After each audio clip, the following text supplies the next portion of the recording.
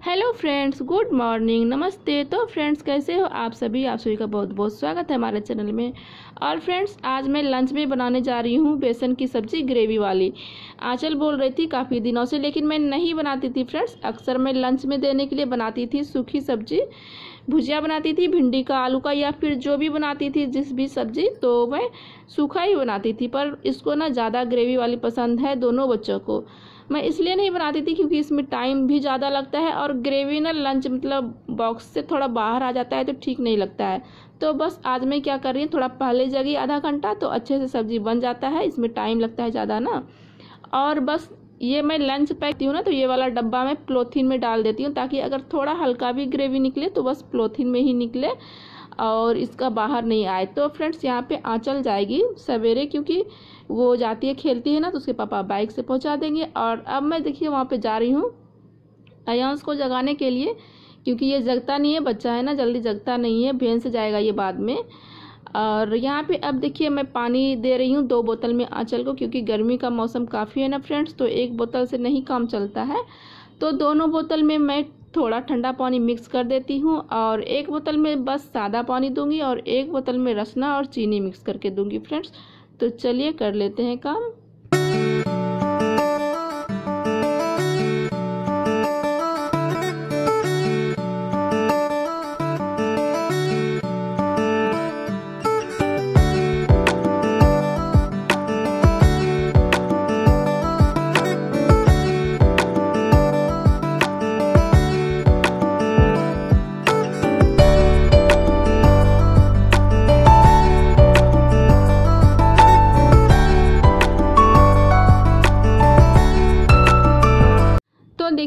पे आंचल जा चुकी है स्कूल और अयांश भी अब रेडी हो गया है करीब करीब और अब इसका देखिए लंच में पैक करके इसका भी टिफ़िन में इसमें रख देती हूँ प्लोथिन में डाल देती हूँ क्योंकि इसका ग्रेवी बाहर ना आए क्योंकि बच्चों को काफ़ी दिक्कत हो जाएगा, रोटी पराठा में अगर चला जाएगा तो ग्रेवी और फ्रेंड्स इसको भी बेसन वाली सब्ज़ी पसंद है तो खा रहा है अपने से, ऐसे तो खाता नहीं है, जल्दी अपने से हमको ही खिलाना पड़ता है। तो मैं इधर पैक कर रही थी तो उसको बोली कि बेटा कुछ कुछ खाओ थोड़ा बहुत।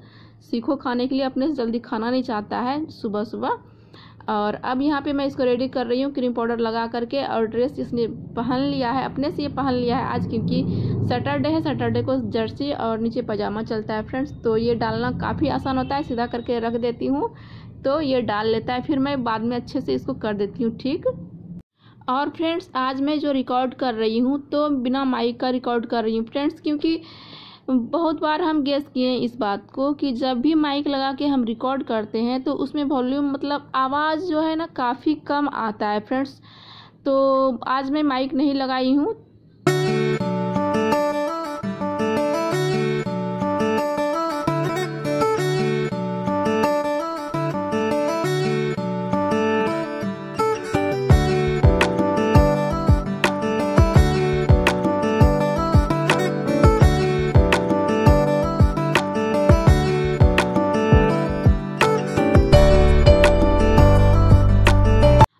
देखिए फ्रेंड्स, इसका जो यहाँ पे पैजामा है काफ़ी ज़्यादा लंबा है और ऊपर का टी शर्ट जो पहना हुआ है, ये काफ़ी ज़्यादा साइज़ से छोटा है। पता नहीं ऐसे कैसे हो जाता है, स्कूल के नाप से वहाँ बनता है। एक दुकान में मतलब वहीं जाना होता है, हम लोग को वहीं से उठाते हैं कपड़े को, ड्रेस को तो रोल नंबर वाइज होता है, वो पूछ लेते हैं किस क्लास में है, सेक्शन क्या है, रोल नंबर क्या है, और ड्रेस निकाल के देते हैं। तो काफ़ी उल्टा पुल्टा हो जाता है, पता नहीं कैसे तो वही उसको मैं पैजामा को ठीक कर दी हूँ, फोल्ड करके, और देखिए इसको ना आज सर्दी जुकाम हो रहा था तो इसको मैं रसना नहीं दे रही थी, चीनी नहीं दे रही थी पानी में। क्योंकि मौसम काफ़ी चेंज हो रहा है फ्रेंड्स, मेरा भी आवाज़ आप सभी को पता चल रहा होगा कि काफ़ी ज़्यादा फंस रहा है आवाज़, जुकाम जैसा लग रहा है और बच्चों को भी जुकाम हो रहा था तो मैं बोल रही थी कि आज मत लो रसना और चीनी, क्योंकि ये ना चीनी मिल के पानी में और ग्लूकोज बन जाता है, ठंडा होता है तो और ज़्यादा सर्दी बढ़ने का चांस रहता है फ्रेंड्स। तो लेकिन ये माना नहीं, ले लिया खुद से और उसको चख के देख रहा था। और फ्रेंड्स, बच्चे भी चले गए अयांश भी चला गया स्कूल। और अब मैं लगी हूँ घर के कामों में। बेड वगैरह ठीक कर रही हूँ फ्रेंड्स, क्योंकि मंदिर जाना है फिर। तो चलिए, काम में लग जाते हैं फिर।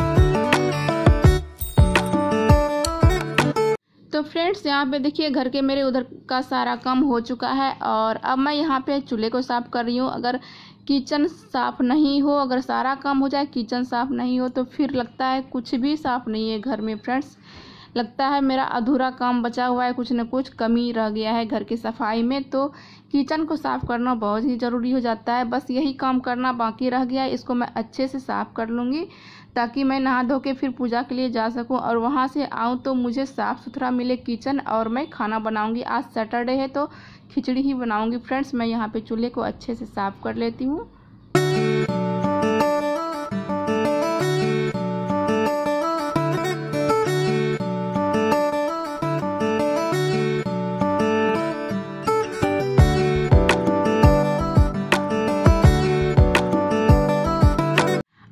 अब यहाँ पे देखिए, ये कर रहे हैं पूजा, क्योंकि जिनका भी पहले नहाया हो जाता है तो वो पहले ही पूजा कर लेते हैं घर में, फिर और बाद में मैं सारा सामान लेके मंदिर जाती हूँ। अगर मैं पहले नहा लेती हूँ तो मैं ही पूजा कर लेती हूँ फ्रेंड्स घर में, और सारा सामान लेके फिर चली जाती हूँ मंदिर। इन्होंने कर लिया यहाँ पे घर में पूजा, और मैं यहाँ पे ले रही हूँ सारा सामान, जितना भी पूजा का सामग्री होता है फ्रेंड्स, सारा भर लेती हूँ मैं साजी में, और उसके बाद निकलती हूँ।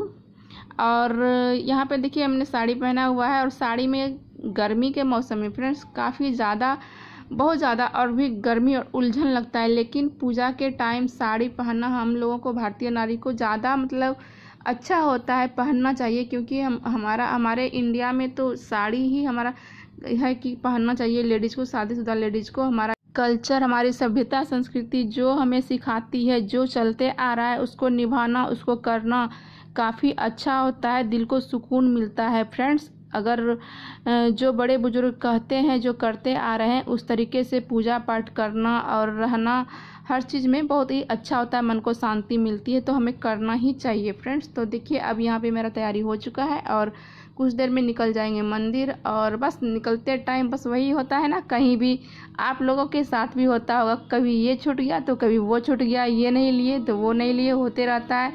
बस फ्रेंड, कुछ देर में निकल जाएँगे मंदिर के लिए।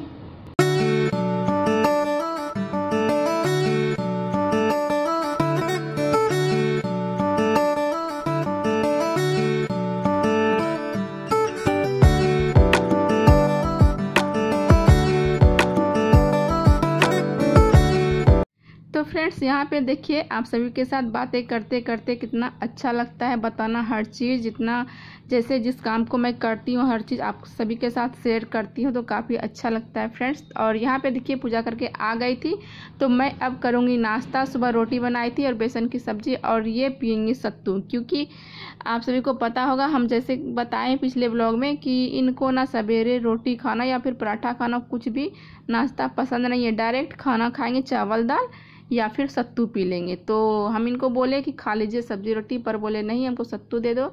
और ये बैठ गए अपना कंप्यूटर पे क्लास करने के लिए। और मैं नाश्ता करके अब यहाँ पे फ्रेंड्स, खाना की तैयारी कर रही हूँ, खिचड़ी चढ़ा रही हूँ, फ्रेंड्स।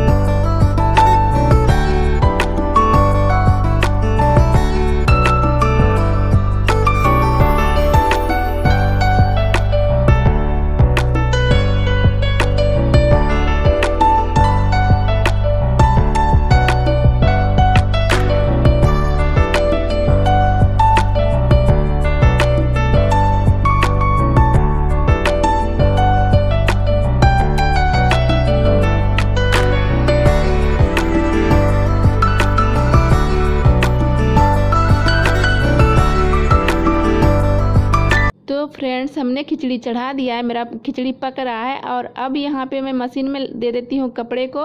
तो पहले मैं सोच रही थी कि वाइट कपड़े ही दूँगी फ्राइडे का जितना भी ड्रेस है बच्चों का, लेकिन फिर सोची दे देती हूँ, सभी कपड़े दे देती हूँ डेली यूज़ वाला भी, क्योंकि बार बार धोना पड़ता है, गर्मी काफ़ी क्या है फ्रेंड्स रहने का मन नहीं करता है बाहर। और साड़ी में तो और भी गर्मी लग रहा है तो मैं सोच रही थी सारा काम कर लूँ, फिर इकट्ठे धो के फिर इसको भी धोऊँगी। और यहाँ पे देखिए मैं सारा कपड़ा दे देती हूँ। और आज सैटरडे है ना फ्रेंड्स तो कल संडे हो जाएगा। तो संडे को मैं नहीं चाहती हूँ कि धोऊँ कपड़ा, एक दिन पहले धो लेती हूँ। क्योंकि अगर कहीं बारिश आ जाए, कहीं बिजली नहीं रहे तो काफ़ी दिक्कत हो जाता है। फिर टेंशन बना रहता है कि कपड़े नहीं धोएँ, कपड़े नहीं धोएँ स्कूल वाला। और फिर मंडे से वाइट ही हो जाता है। तो मैं सैटरडे को धो लेती हूँ और संडे को मैं आयरन कर लेती हूँ।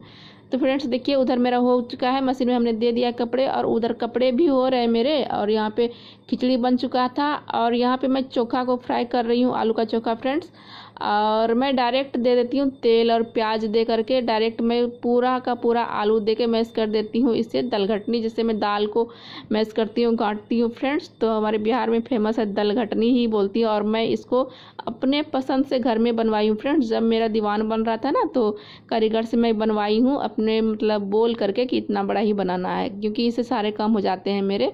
खाना बनाना और चोखा का इसका ना बहुत अच्छे से मैस हो जाता है तो इसी से मैं कर लेती हूँ। और फिर जब ये मैश हो जाएगा अच्छे से तो फिर मैं छलनी से चला करके इसको भून लूँगी चोखे को। और इधर खिचड़ी में हमने गर्म पानी करके डाल दिया है और उसको छौका लगा दूँगी, बस खाना रेडी है। और हस्बैंड जी के लिए मैं निकाल दूँगी अभी खाना, क्योंकि इन्होंने सत्तू ही पिया है तो भूख लग रही होगी। और मैं रोटी खाई हूँ तो बाद में खाऊँगी और चिप्स छान दूँगी फ्रेंड्स